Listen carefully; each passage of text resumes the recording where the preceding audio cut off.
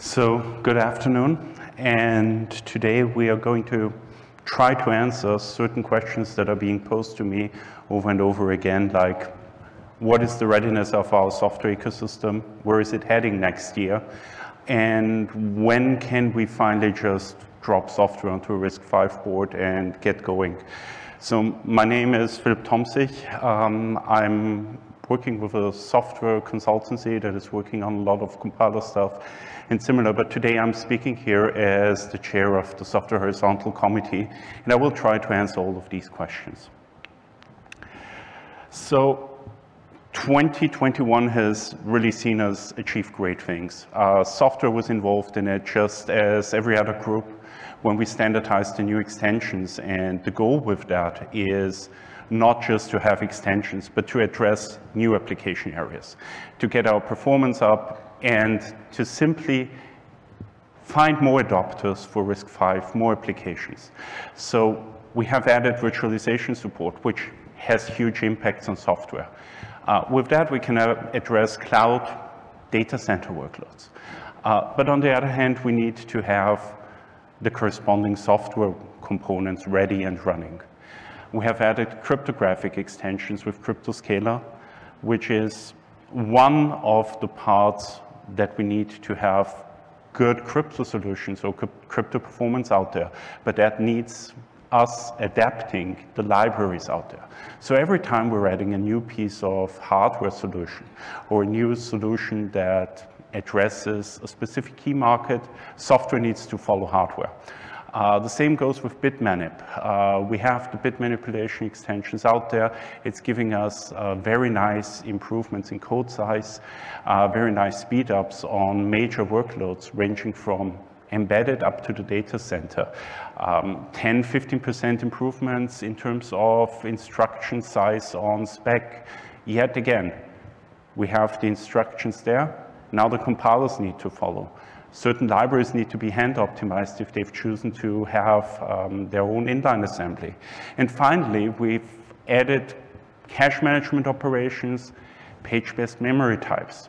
Uh, all of that is serving us in order to reduce the amount of fragmentation that we might have between different implementations to make software development easier. But at the same time, software needs to adopt it. Software needs to follow. So when I'm asked, where are we heading? What is up next for us? What will 2022 bring? 2023 for RISC-V?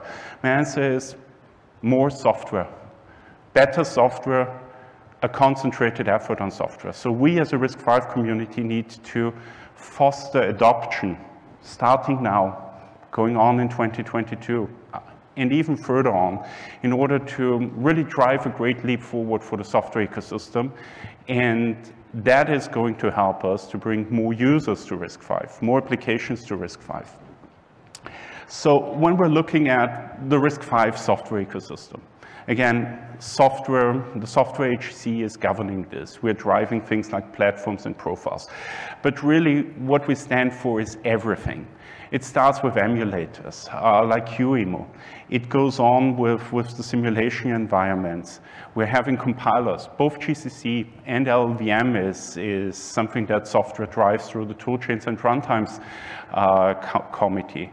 We're trying to coordinate with these communities uh, performance analysis tools are high on our wish list. Um, we interact with some other communities there as well.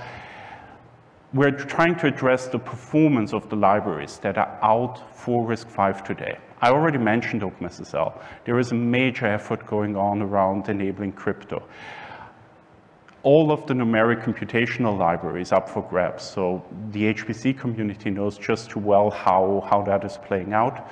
And finally, managed runtimes. Modern software is not just compiled C code. We have a number of just-in-time compilers, a number of virtual machines that need to run. Uh, it's starting with Python, which is easy, but getting Java right took the ARM ecosystem five, five plus years in order to have it competitive for the data center. Um, we're having new developments like Rust um, and other languages that need to be addressed. And finally, we need the operating systems. So all of that is in our governance. And RISC-V made great great progress on some of the areas early on. So we're having all these stakeholders that need software. Um, just as we heard before, validation needs software. They will also need compilers in order to compile their workloads. Pre-silicon validation requires software. Uh, and just, as my, just the same, certain research projects have been focusing on software and trying to get their features implemented in operating systems, doing some research work on security, on the isolation of workloads.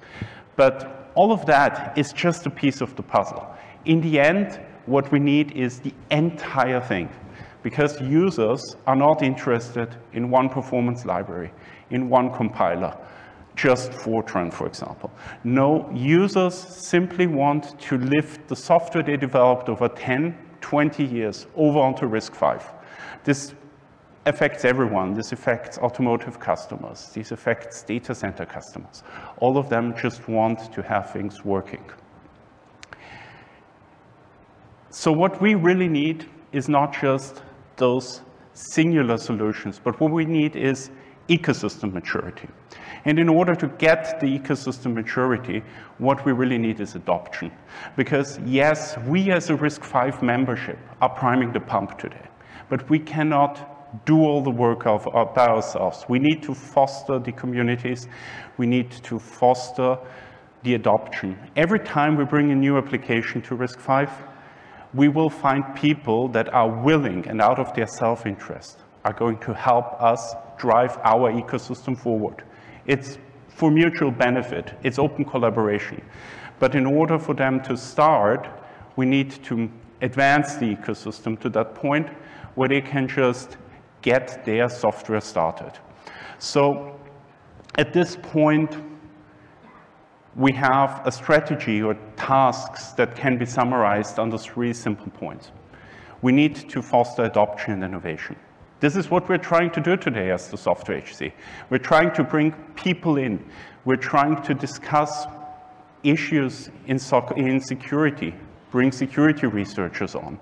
We're looking at performance, interacting with, with the HPC community, trying to identify new areas where RISC-V can bring a real benefit directly to the users, and that way bring more software developers onto our platform. At the same time, we have been moving fast. We've been moving incredibly fast with those 15, 16 new extensions, and we're trying to manage fragmentation. Um, for example, there's been adopters of draft specifications of vector, and now we have the real vector specification. But we cannot just cut them off. So one of the areas is how do we bring these things in? How do we fold them in so we don't scare anybody away from our ecosystem uh, while actually guiding people along in order to use the standard specification. And then, finally, once we have solved those two puzzle pieces, we will deliver optimized software. And that only works by having brought people onto it. Because we, again, we cannot address everything ourselves as a RISC-V membership uh, because there are too many specialized software domains out there. So in order to achieve these three overarching goals, bringing more adopters to us, bringing more innovators to RISC-V, managing fragmentation, and also delivering software, we are working on three pillars today. So the first one is domain-specific extension work. So in the past, it was very apparent what was missing. So you could just address the shortcomings or the gaps that RISC-V didn't have compared to some of the competing architectures. But today, more and more of that innovation is going to be driven out of software. Graphics, they need matrix multiplication. AI and ML, they know best what workloads they need. In every group we bring in, every interested party that we can bring in to actually innovate on RISC-V is going to bring their own application workloads, their own software workloads. And this is how we attract talent, how we attract software talent, by giving them an opportunity to actually have their application and their domain know-how flow back into ISA extensions. At the same time, we're trying to address the fragmentation issue with a second pillar of what we're doing. And that second pillar is standardization platform standardization, profiles, the two topics that you will be hearing a lot over the next two days. And there lies the key to actually scaling up. Once we have standard platforms, once we have standard profiles, we can attract more people with custom off-the-shelf software to custom off-the-shelf hardware platforms. And finally, and that is the real key component, because I've been saying it over and over again, we need to attract people. We can just, we can only foster it. We can move things into the right direction. We prime the pump. But what we really need to develop is a contributor culture. So we're, we're under the Linux Foundation umbrella in a way anyway. They exactly know how to do that. And this is a similar model that we need to develop. We need to focus on getting people to contribute back on the software, not just be RISC-V users, but them becoming RISC-V contributors and helping us to drive forward the upstream projects, to help us on the Linux side, to help us on the library side, to help us with their specific applications. And we're on the way towards it. We're working hard to actually bring semiconductor companies in that have done their own thing and may not have contributed it back yet. But it is a focus area, and it works together with the other two pillars in order to move our software ecosystem forward. So where are our ecosystem priorities today? It's really only two. On the one hand, we need to get operating system support on. We've been, great, we've been doing great in embedded. So if you go downstairs, you see a number of very exciting applications with RISC-V, but most of them are in an embedded space today. What we need is operating system support. And the key to breaking out of this embedded niche that we're in is to attract the Red Hats, the Canonicals, uh, and similar companies to actually see us as a first-class platform. And again, this is where the platform standardization is kicking in, because that allows them to target one standardized platform instead of having to target many dissimilar boards. Actually, we're trying to learn from the mistakes that others have made before us and build on that in order to have a much easier way of, of adopting RISC-V and trying it out. Because What's easier for a hobbyist than ordering a board, downloading the software, putting them together, and just having it work? And the second part of that, once they have the operating system working, is we need the best-in-class tool support. So I'm a tools person myself. I was talking about compilers before. I mentioned that I've been working on them. But a software developer wants to move their application forward. They don't want to fight tools. They want to use tools in order to innovate. So to attract the best developers, we need the tools adopting RISC-V. We need to have the performance tools and similar. Most of those are open source projects. So they will work with us if we provide the information and if we engage them. And a lot of this is actually um, funded research work that will come to our platform if we have something interesting to offer. And performance monitoring and similar are trying to go into that direction. Now you might ask yourself if I've gone mad and completely forgotten about embedded, but we aren't forgetting about embedded. So embedded has brought us here. So even as we're standardizing platforms and even as we're focusing on the operating systems first, we are also working on standardizing our platforms to the point where people can more easily port software from one chip to another. Uh, in that way, have a higher uh, have a higher motivation, a stronger motivation in terms of return on investment, in terms of investment protection to join our ecosystem. So before I conclude, I have a lot of exciting news for you. So just an outlook of what all of this means. So yes, profiles, focus.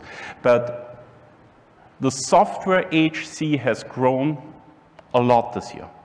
We have a significant number of new groups operating in it, and we're trying to address many of the challenges at once. So actually, one could say we're in catch-up mode still. But the good thing is there's excitement around unified discovery. How do we identify the availability of extensions. We're working on that. There's a group there. They're making great progress.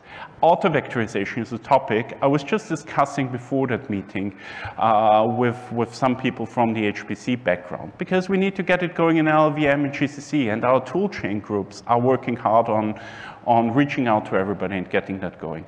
Optimized compilation, secure boot, hypervisors. The graphics and artificial intelligence group that are driving our ISA extensions now and are working on a proposal for matrix multiplication. Uh, we're hosting an IOMMU group in order to get virtualization rounded up after we have the, the um, interrupt controllers ready and instructions. The platform specifications are in a draft now. And finally, we're having groups working on Android and managed runtime, so Java and V8. And all of that is trying to build our software ecosystem. And all of that is trying to bring developers in so that when you download an operating system next year and the year after, your experience will be much smoother than it is today. Thank you.